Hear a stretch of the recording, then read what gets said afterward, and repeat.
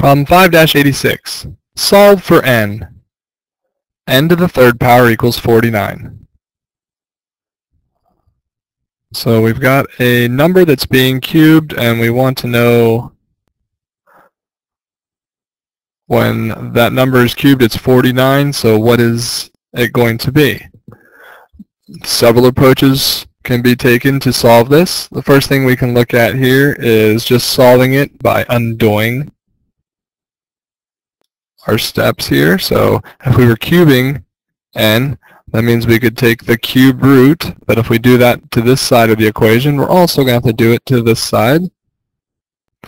Now, the cube root of n cubed is going to leave us with an n there.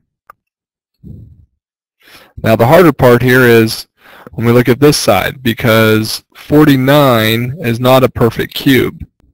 And we're looking for what number can we multiply times itself three times to get 49? So we can use the calculator, but before we do that, let's get an idea of where our answer should be. If I think about values like, let's say, 3 to the third power is going to end up being 27, because 3 times 3 times 3 is 27. And if I said 4 to the third power well, 4 times 4 is 16, times 4 is 64, which means if we're trying to come up with 49, it's going to exist somewhere right in between these two values. So one way we can do this with our calculator is we could say, all right, let's go in and simply do the cube root of 49, which if we press math, and then we look at option number four. And we type in 49 in here and press enter. It's going to give us approximately 3.6593, so we just say approximately 3.66.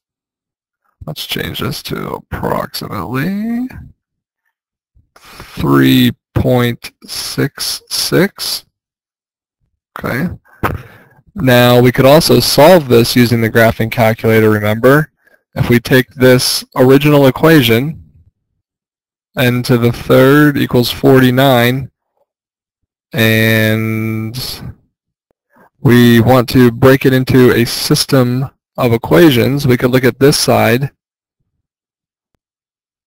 and then look at this side separately here as its own function. So we'd say y equals n to the third, and in this case we'll just use an x on the calculator. So that's really the same thing as saying y equals x to the third. And over here we'd say y equals 49.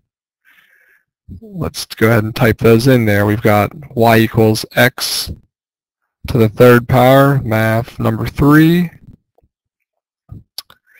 And on the other side we got y equals 49. And because this is going to give us a horizontal line where all the y values are 49, we're going to have to adjust our window a little bit. Let's move it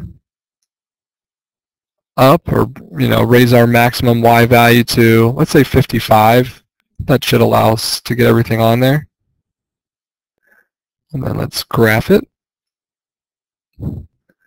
And there's our cubic function there, and there is our y equals 49.